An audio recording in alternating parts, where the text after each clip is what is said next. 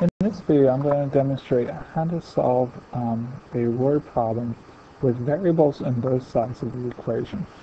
Let's go ahead and begin. Here's our problem, okay? And I'd like to start off by reading the question first. So I find my question mark um, down here um, at the bottom of the problem. Right here's my question.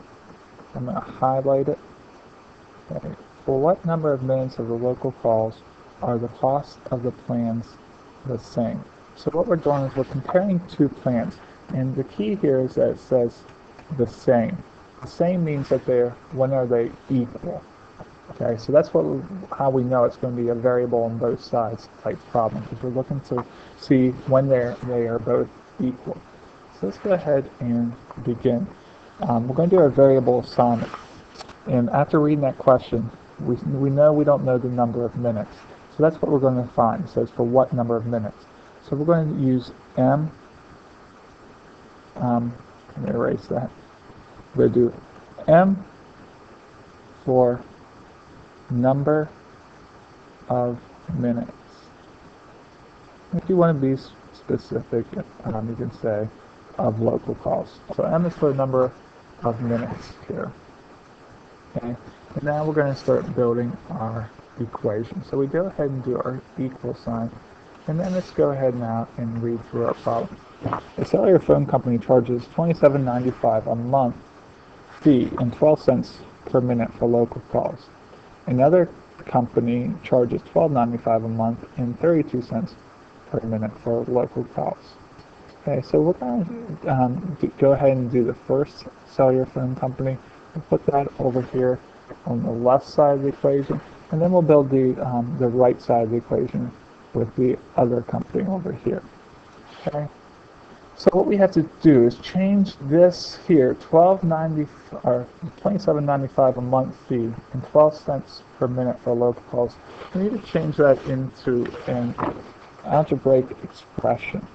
Okay, it's it's 27.95 is kind of a flat fee, so we're going to put that in as 27.95.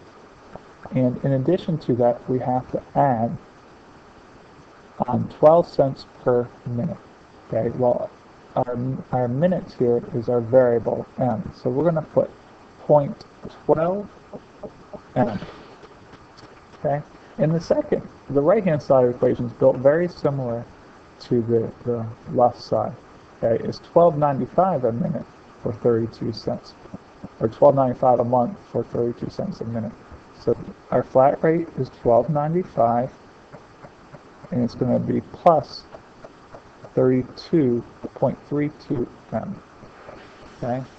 Now we got to go ahead and solve with our variables. We have a variable on the right and the left.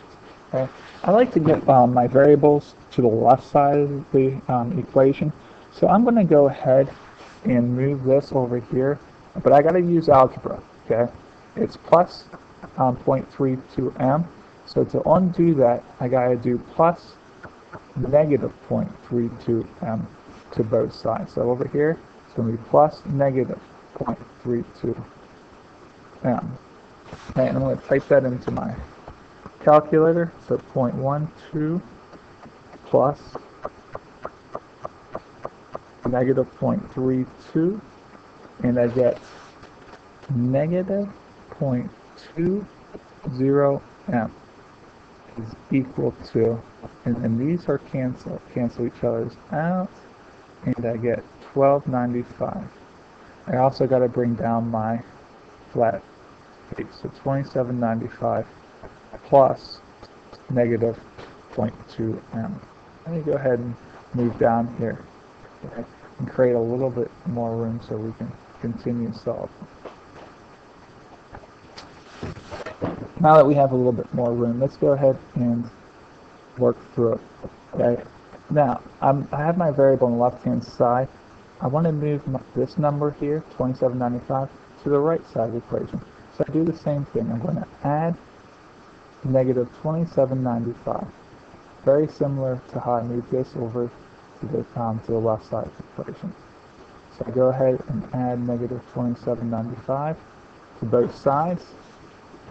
This is going to cancel out, so it's going to be negative 0.20 m is equal to, and let me do the calculation here, 1295 plus negative 2795. And I get 15, negative 15. I did that correctly. Now, the next thing I have to do is get, I just want m by itself. Yes, that is an m. Okay?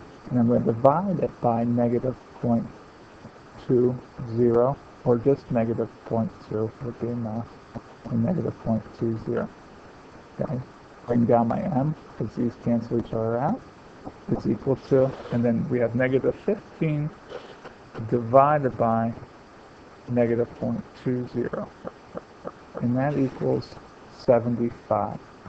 And then all good math students a label on it. So it's 75 um, minutes. The plans will be equal, right? So after 75 minutes, those plans will be the same. Okay? And I'm going to just go back up here and give you a chance to see the problem one last time here without any of the annotations. Okay? So again, a little quick recap. Um, do your variable assignment. Okay? Build your equation.